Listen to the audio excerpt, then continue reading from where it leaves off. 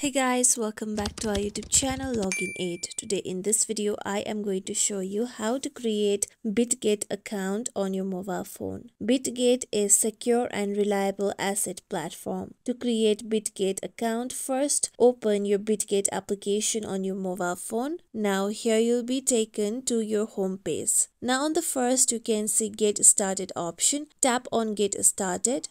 Then here you'll be taken to sign up page. Now here you can create your account with your email or your mobile phone number as well. To do that tap on mobile number or you can also create your account with your Google, your Apple account or your Telegram account. I am going to create my account manually through my email address. So first enter your email address on the given box.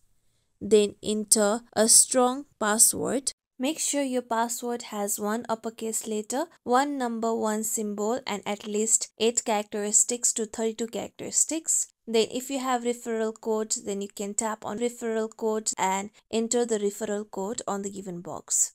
Similarly, once view through user agreement and privacy policy and tap on the given box, then tap on create account. With that, now here you need to select three images associated with the icon present on the site. Tap on the three images. After doing so, your verification will be successful. With that, now you will get a verification code on the email address that you have used to create your account. Now go through your Gmail and look for the mail sent by Bitget. Then tap on the given mail. Then copy the code after you copy the code, go back to Bitget application and enter the code on the given box.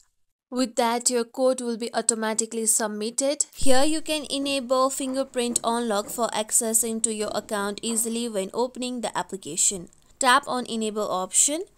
Now you need to verify your fingerprint by touching on the finger sensor on your mobile phone.